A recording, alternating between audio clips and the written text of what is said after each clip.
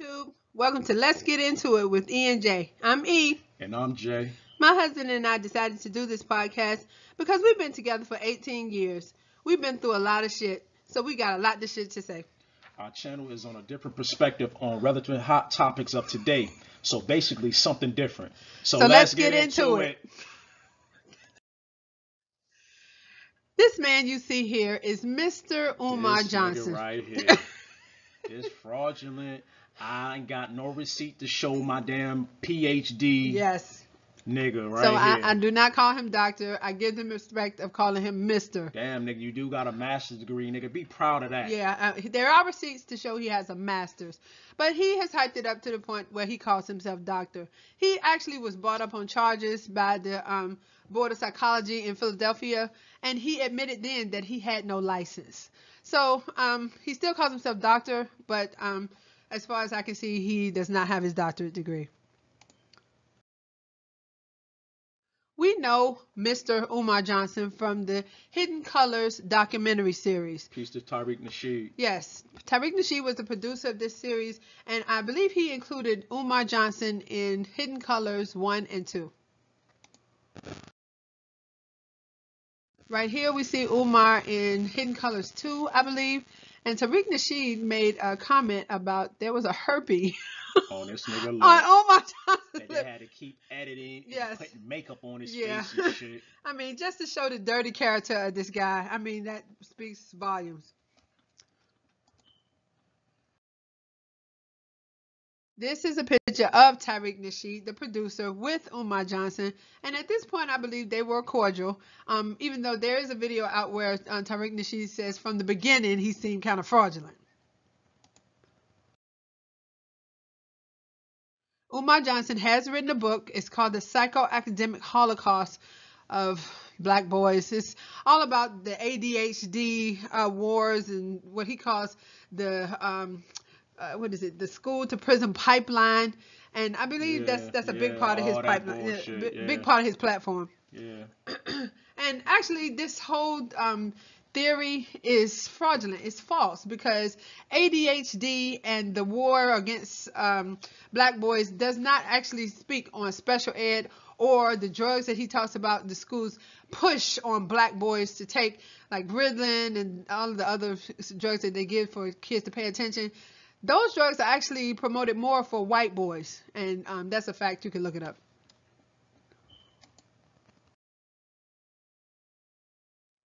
Here, Umar Johnson is, um, as he calls himself, the what most requested orator. Um, he's giving a lecture here.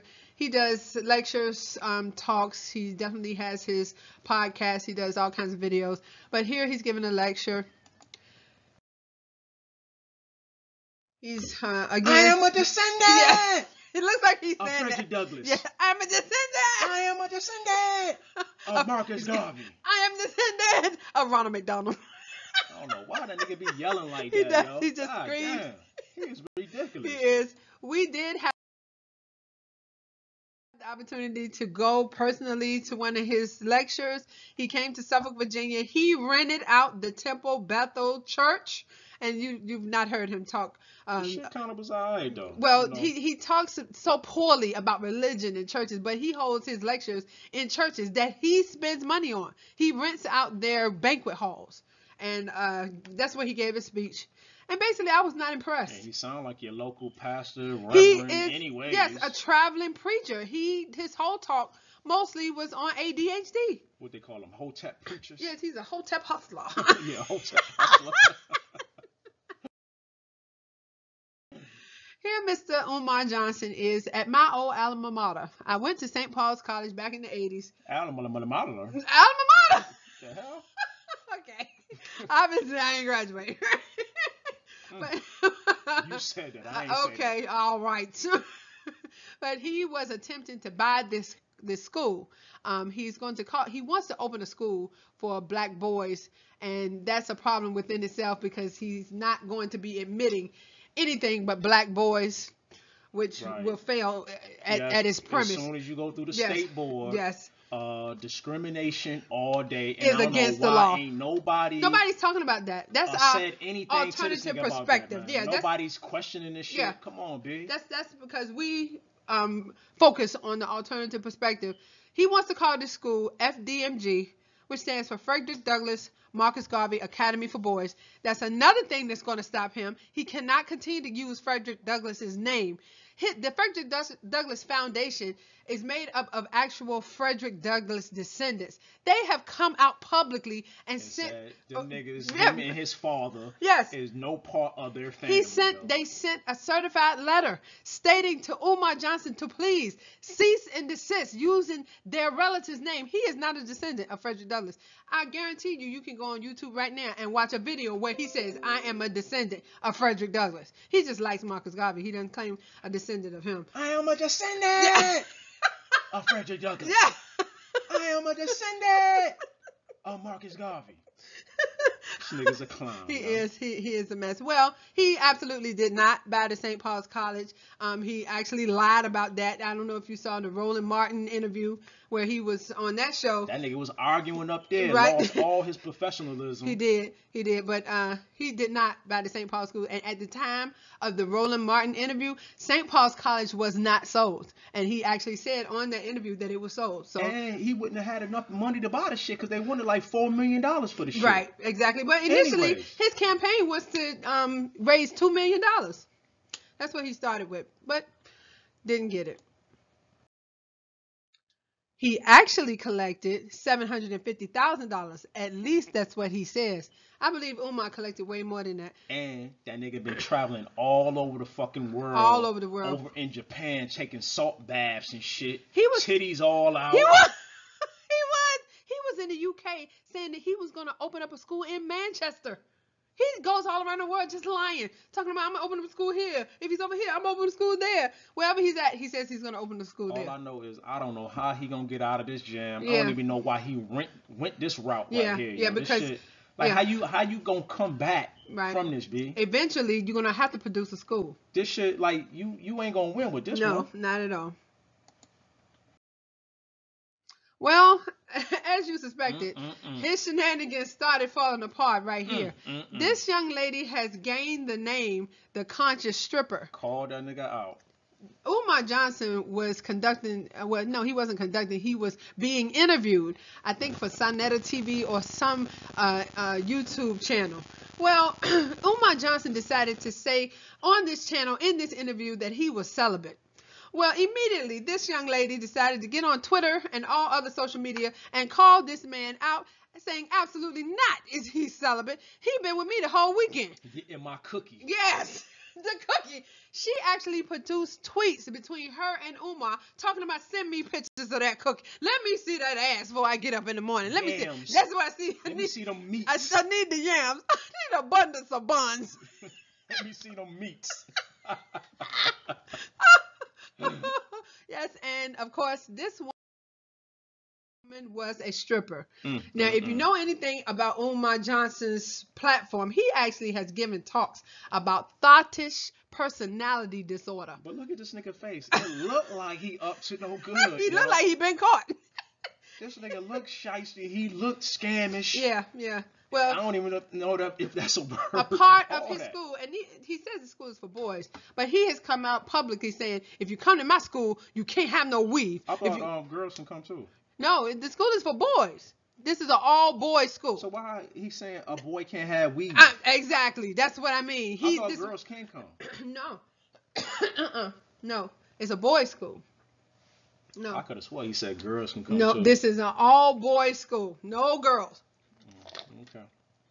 But he does talk about you cannot come to his school with a perm or a weave. And this lady, I don't know if you can see with this picture, but she has both of them. She got a perm, a weave, some her? blonde. That's yes, really that's her? her. That's her. She don't look like the, the other picture. Yes, because her hair is down.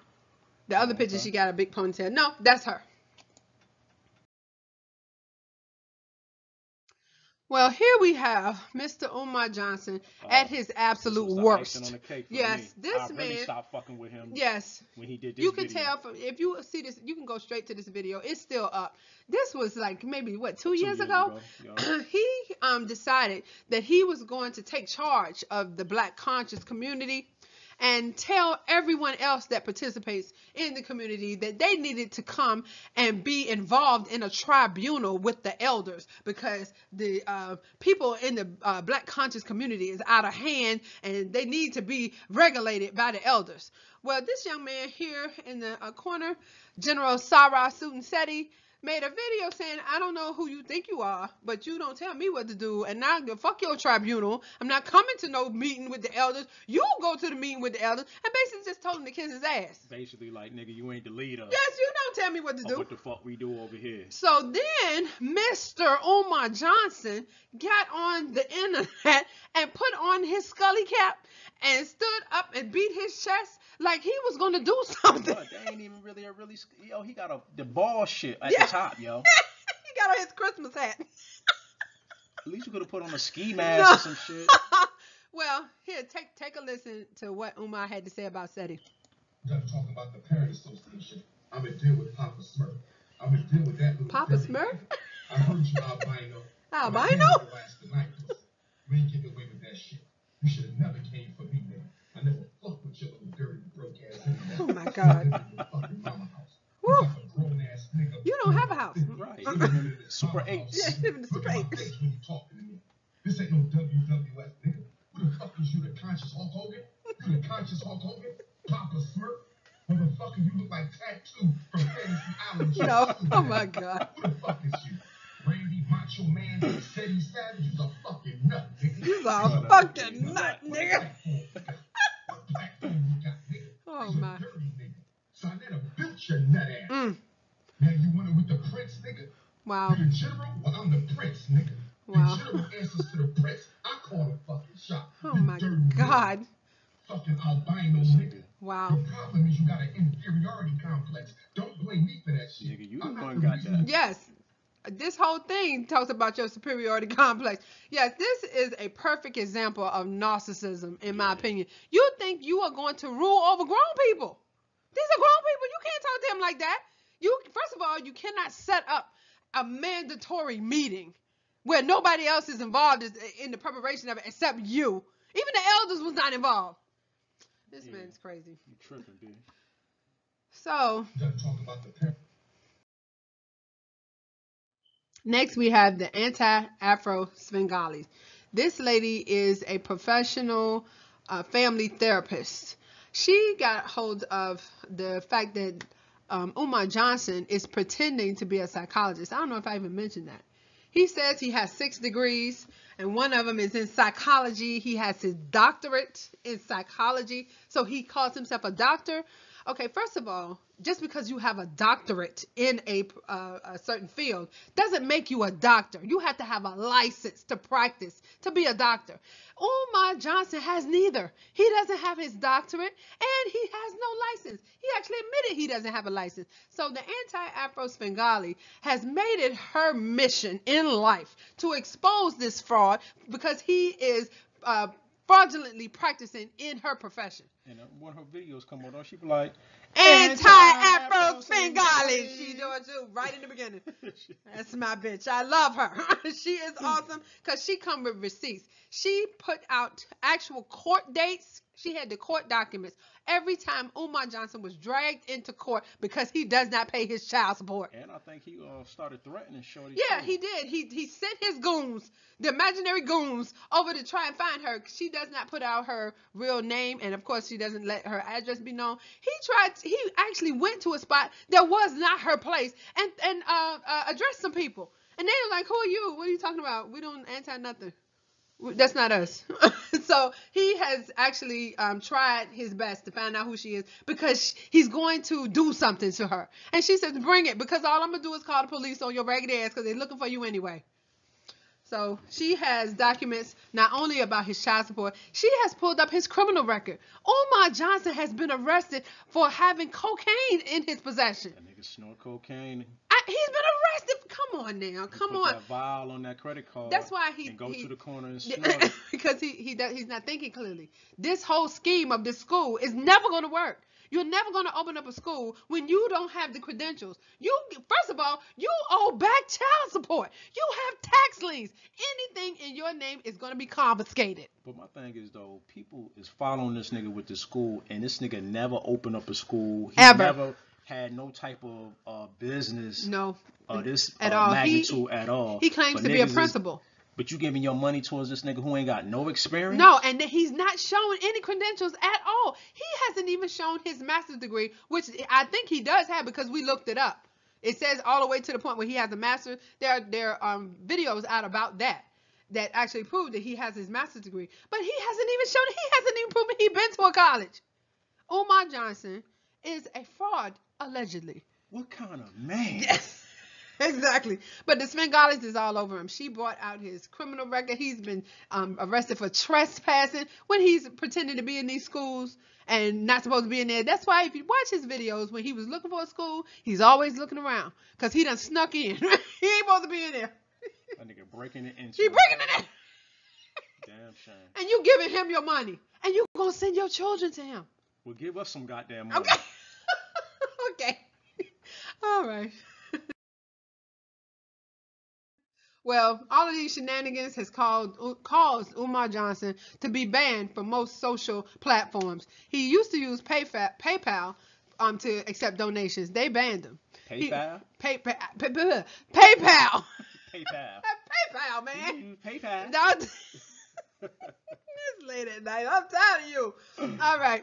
He used to use Eventbrite to schedule his uh, speaking. His Eventbrite was legit because that's Yeah. where I got our tickets from. yes, when but it came to, they banned him. He can't use Eventbrite no more because he scheduled events and then canceled them and would not get the money back. Oh yeah, yeah, yeah. I did. He did that. Did do that. Well, then there was GoFundMe, where I think he collected most of the money for the school, but they had banned him there because he never opened up school.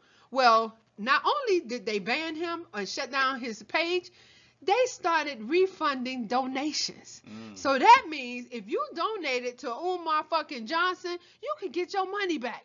Well, guess what?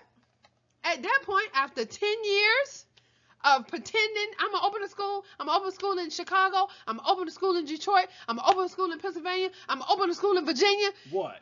He opened a school. He ain't opened shit. Nah, he Nah, ain't opened no school. He's they, he says he bought a building in Wilmington, Delaware. That was way back in February of 2019. And this nigga is from Philly, which is only like 40 minutes from Wilmington. This man went to Japan. He been to the saying, UK. though, I know uh-uh. Philly got fucking schools of course right there. Of course, there are schools that Why you you go afford. way out of state? Well, first of all, why would you travel in the country if you're just gonna go right here to Delaware, 40 minutes from your house? You bought this broke down, raggedy ass school that's been closed, and I, um, there are videos that say that was closed because the water in that area is contaminated.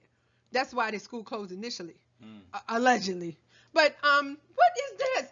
You had seven hundred fifty thousand dollars. This is the best you could do, and this school is broken down and dilapidated.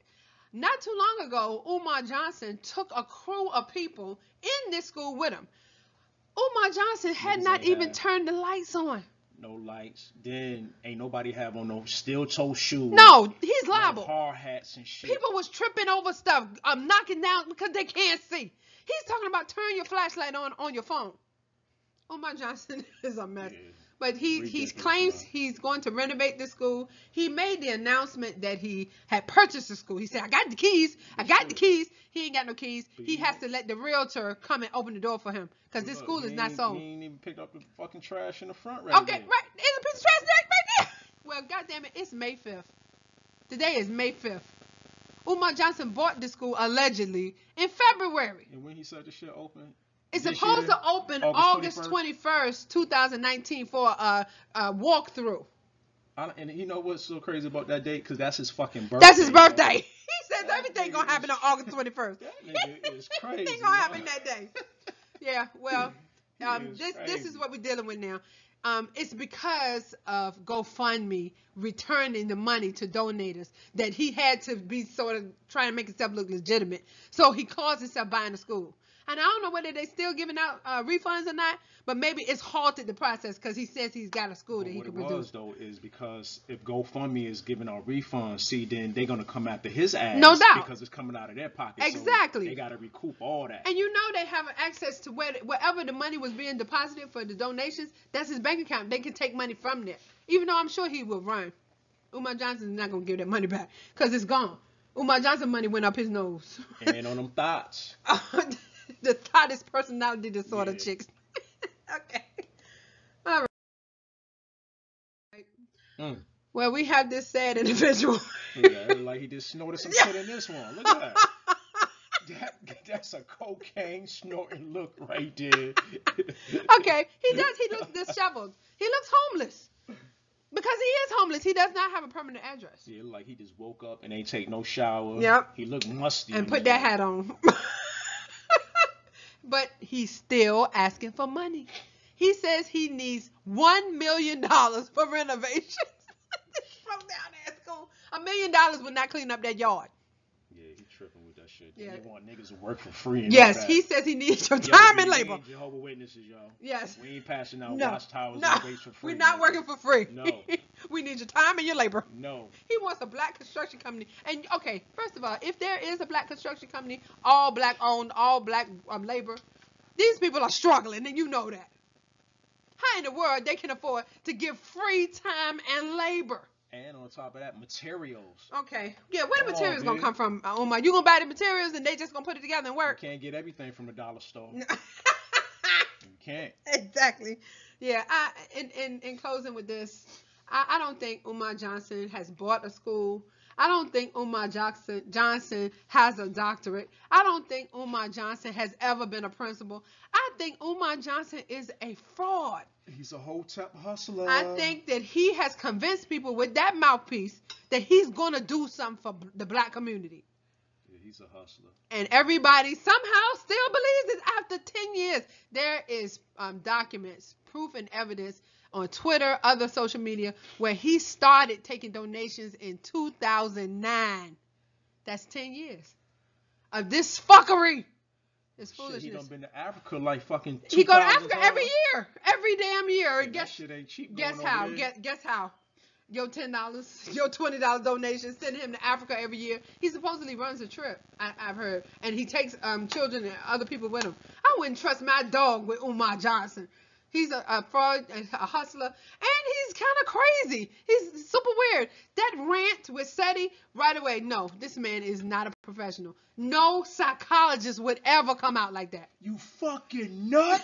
You albino nigga. Yo, piece of SETI, man. Yes, Teddy and Pharaoh. We love both of them. Excellent people. Well, if you enjoyed our video today, please like, subscribe, subscribe, comment, and share. share. We would really appreciate No it. No doubt. Please. You have been listening to Let's Get Into It with E and J. Bye. Bye. Bye, bitch.